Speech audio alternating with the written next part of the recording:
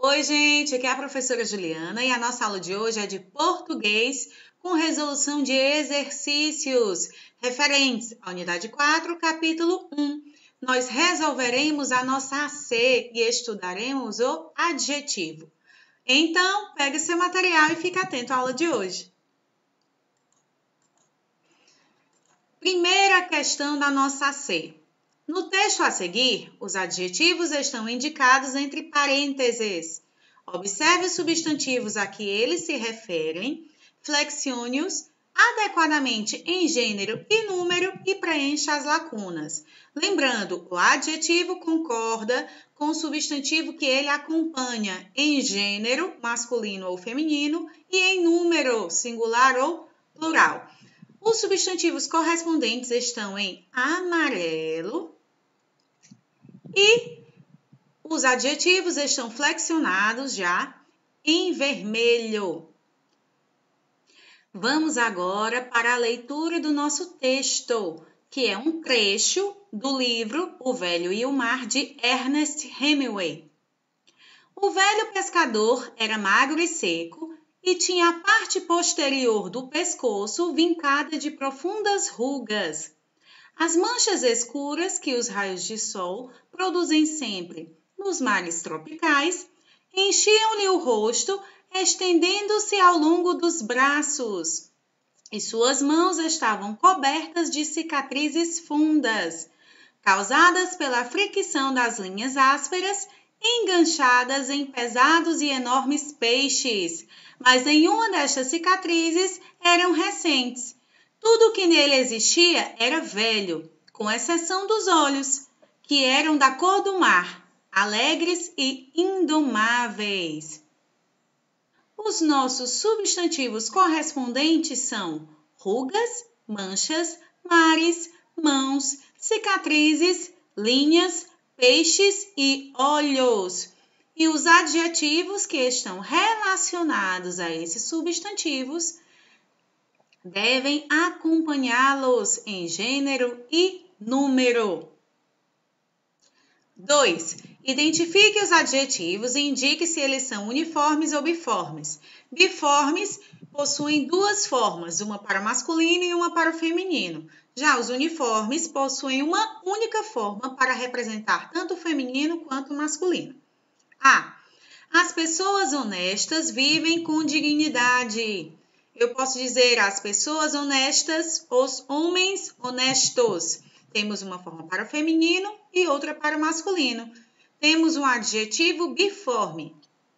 B. As crianças mostravam as carinhas alegres na festa.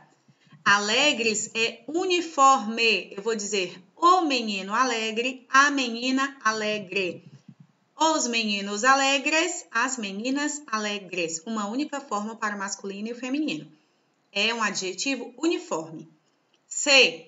É recomendável tomar muito líquido em dias quentes ou líquido, como queiram. Quente será um adjetivo uniforme. Dias quentes, noites quentes, uma única forma para o masculino e para o feminino. D. Amigos sinceros são muito valiosos. Sinceros e valiosos são biformes. Tem uma forma para o feminino e outra para o masculino. Eu posso dizer amigos sinceros ou amigas sinceras. Amigos valiosos, amigas valiosas. É, assisti a um filme muito interessante. Filme interessante, novela interessante. Interessante é um adjetivo uniforme, tem uma única forma para feminino e para masculino. 3. Leia as frases abaixo, identifique as locuções adjetivas e indique os adjetivos correspondentes. A. Houve uma invasão de alunos na reitoria da Universidade de São Paulo. De alunos é a nossa locução adjetiva. Qual vai ser o nosso adjetivo correspondente? Dicente. B. A comida estava sem sabor. Sem sabor será a nossa locução adjetiva. Qual o adjetivo correspondente? Insípida. C. Ele tinha um problema de audição. de audição será a nossa locução adjetiva. O adjetivo correspondente é auditivo. D. Os trabalhadores recebem o pagamento do mês. Do mês é a nossa locução adjetiva. Mensal é o nosso adjetivo correspondente. É. A água da chuva invadiu as casas durante a madrugada. Da chuva é a nossa locução adjetiva. Pluvial é o nosso adjetivo correspondente. F. O estresse tem causado muitos problemas de coração. De coração é a nossa locução adjetiva. Cardíaco é o nosso adjetivo correspondente. G. As ondas do mar estavam fortes naquela manhã. Do mar é a nossa locução adjetiva. Marítimas é o nosso adjetivo correspondente. H. A menina tinha um olhar de anjo de anjo, nossa locução adjetiva, angelical, nosso adjetivo correspondente. E, mesmo crescido, ele tinha um comportamento de criança. De criança, nossa locução adjetiva, pueril ou infantil, nossos adjetivos correspondentes. J. Sentiam pelo sobrinho um amor de filho. De filho, nossa locução adjetiva, Filial, nosso adjetivo correspondente. K. As águas do rio correm para o mar. Do rio, nossa locução adjetiva. Fluviais, nosso adjetivo correspondente. L. Os raios de sol iluminavam o quarto. De sol, locução adjetiva. Solares, nosso adjetivo correspondente. 4. Escreva os adjetivos pátrios correspondentes aos locais informados. A. São Paulo capital. Quem nasce em São Paulo capital é chamado de paulistano. B. Rio de Janeiro estado. Quem nasce no Rio de Janeiro, no estado do Rio de Janeiro, melhor dizendo, é fluminense. C. Quem nasce no Espírito Santo é chamado de capixaba ou Espírito Santense. D. Quem nasce em Brasília, capital do Brasil, é chamado de brasiliense ou candango. E. Quem nasce em Belém, na cidade de Belém, é chamado de belenense. Cidade de Belém, no Pará, capital do Pará. F. Quem nasce em Lisboa é chamado de lisboeta, lisbonense, lisboês ou lisbonês. Eu acho mais bonito lisboeta. G. Quem nasce em Lima, capital do Peru, é chamado de limenho. H. Buenos Aires, capital da Argentina. Quem nasce lá é chamado de portenho, buenairense ou bonairense. Eu prefiro portenho. E quem nasce na Guatemala é chamado de guatemalteco. J. Quem nasce em Honduras é chamado de hondurenho. K. Quem nasce na Nova Zelândia é chamado de neozelandês. L. Quem nasce no Japão é chamado de japonês, nipônico. 5. Indique o superlativo absoluto sintético de. Lembrando, para formar o grau superlativo absoluto sintético, nós fazemos o acréscimo do sufixo ao adjetivo correspondente. A. Pobre, eu posso dizer paupérrimo ou pobríssimo. B. Amigo, eu posso dizer amicíssimo ou amiguíssimo. C, ágil. Eu posso dizer agílimo ou agilíssimo. D, amável, amabilíssimo. E, bom. Eu posso dizer boníssimo ou ótimo. F, confortável, confortabilíssimo. G, cruel, crudelíssimo.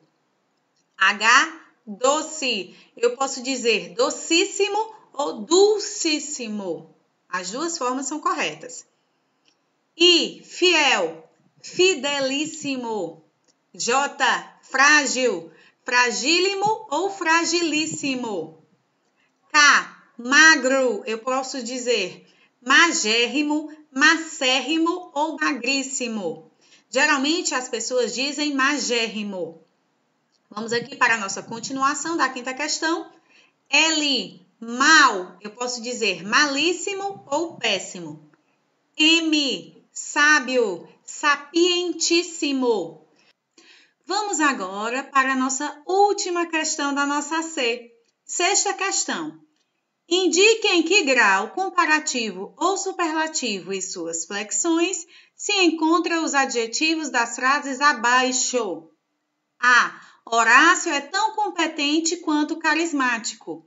Eu marquei aqui as nossas fórmulas. Tão quanto indica o quê? Um comparativo de igualdade. Eu estou comparando duas características da mesma pessoa. Horácio é competente e também é carismático. B. Praia é mais atraente ao lazer do que campo. Mais do que. Nós temos um comparativo de superioridade. C. Santos é menor do que São Paulo. Nós temos um comparativo de inferioridade, menor do que. Lembrando, menor é um comparativo irregular. Nós não dizemos mais pequeno, e sim menor. D. Nelson Mandela foi o líder mais importante da África do Sul, ou mais importante de determinado lugar ou grupo. Temos um superlativo relativo de superioridade. É, Mercúrio é o menor planeta do sistema solar, o menor de determinado lugar do sistema solar temos um superlativo relativo de inferioridade. Lembrando, a letra E é diferente da letra C. Na letra C, nós estamos comparando o tamanho de duas cidades. Na letra E, nós estamos comparando o tamanho de um planeta com relação a todo um grupo, a todo o sistema solar. F, Visitei um casarão antiquíssimo ou antiquíssimo. As duas pronúncias são aceitas, tá? Temos o que? O adjetivo antigo com o acréscimo do sufixo íssimo. Temos um superlativo absoluto sintético, acréscimo de sufixo. G. A bibliotecária foi demasiadamente gentil comigo. Demasiadamente é um advérbio de intensidade, significa muito, excessivamente. E o nosso adjetivo gentil. Temos então o superlativo absoluto analítico. E assim nós terminamos a nossa C. Eu espero que vocês tenham tirado as suas dúvidas e até a nossa próxima aula.